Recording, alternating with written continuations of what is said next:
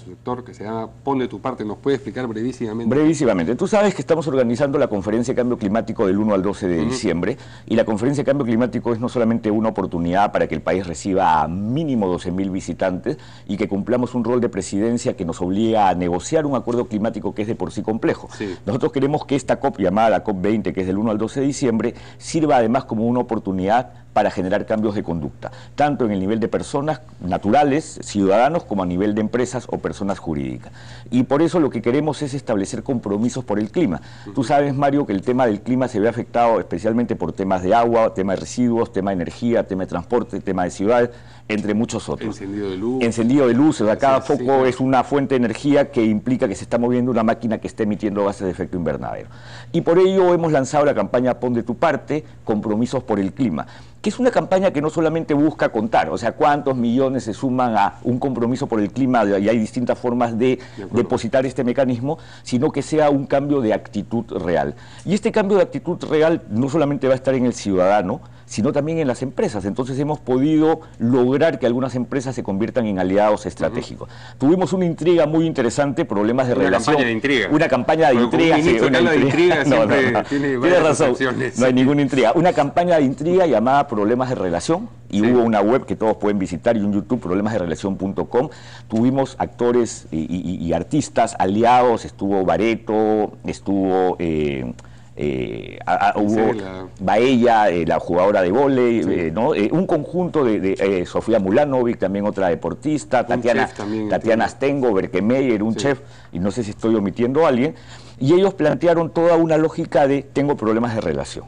Y lo interesante de esta campaña de intriga es que la campaña de intriga que ya se develó y que mañana tiene un lanzamiento en la Plaza de Armas el día, mañana 6, esta campaña de problemas de relación lo que decía es tengo un problema de relación con el entorno y en consecuencia voy a cambiar de actitud y voy a comprometerme por el clima.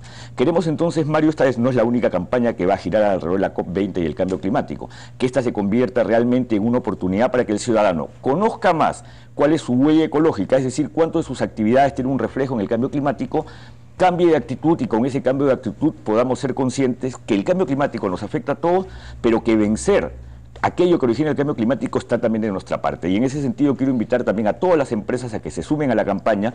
Hay empresas que puedo mencionar ahora, Supermercados Peruanos se ha sumado activamente a la campaña y eso es muy bueno. Sura se está sumando a la campaña.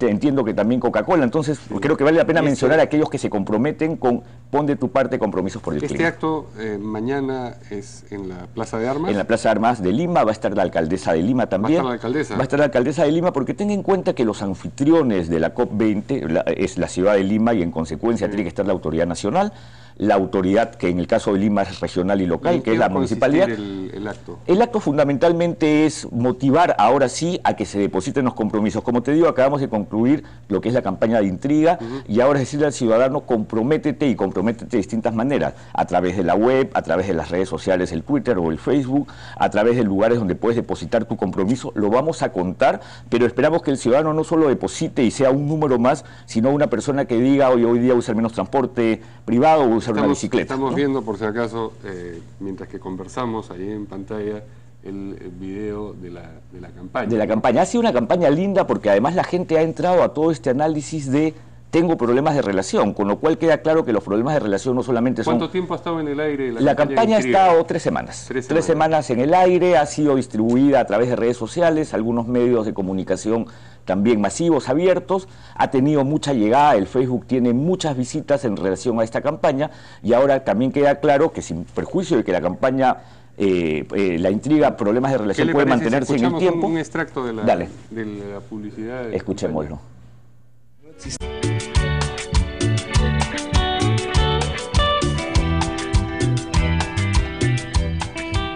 De lo posible seamos conscientes de que tenemos una relación con el medio ambiente, yo creo que las cosas van a mejorar. Y es en el día a día, ¿no? Desde botar una basura a la calle. Esa primera, esa primera consideración de pensar que tenemos que escuchar para mejorar una relación, o sea, tenemos que darnos cuenta qué es lo que nos está diciendo el planeta finalmente. O sea, hay tantas cosas que pasan todos los días que nosotros las tomamos como una noticia más. Y eso nos damos cuenta con nosotros, cocineros, con el tema del mar. Sea, no encuentras lo que encontrabas antes hace 10 años atrás o 15 años atrás. En las generaciones pasadas no existía una conciencia tan fuerte sobre la ecología, sobre la importancia de los recursos naturales. Eh, por eso nuestros padres nunca nos pudieron dar esa información tan claramente porque no la sabían. En cambio nosotros somos una generación que está asumiendo ese compromiso. Bien, con eso creo que los televidentes se hacen una idea de lo que ha sido la campaña. Nos queda solamente desearle suerte con esa campaña al ministro Manuel Pudar Vidal y ya el tiempo nos ha ganado. Hubiésemos querido hablar también sobre minería sobre, sobre minería ilegal y solamente te quito un segundo para decir que por favor el presidente del Poder Judicial tiene que tomar una acción muy decidida mm. contra el juez de la Corte Superior de Madre de Dios que ha destituido a un juez probo sin ninguna razón. Venía escuchando cuando venía al programa una entrevista, no hay ninguna razón para que haya destituido a estos jueces, que porque estaba enfermo, eso parece risible. fue, a su oficina y no estaba. Y no estaba, y le presentó un certificado médico, pero no creía en él. Entonces yo sé que el presidente de la Corte, pero del Poder Judicial es una persona decidida en la lucha contra la minería ilegal y este presidente de la Corte Superior de Madre de Dios no merece estar en ese puesto. Tenemos que hacer justicia, tenemos que luchar contra la minería ilegal, pero no podemos hacerlo si no tenemos en el Poder Judicial el aliado cercano con jueces probos. Eso es lo que exigimos como Estado para que realmente luchemos, porque el lema no más minería ilegal, Mario, que es lo único que creo que vale la pena decir ahora, no más minería ilegal, vamos a resistir a este paro que se está planeando, esta movilización para el 20 de marzo, no podemos aceptarlo, no podemos ceder a ningún chantaje porque el peruano no quiere minería ilegal. Muy bien, muchas gracias. Gracias, Mario. Pulgar Vidal. Nosotros nos vamos hasta mañana. Ustedes se quedan, como siempre, con Carlos y con Carla. Buenos días.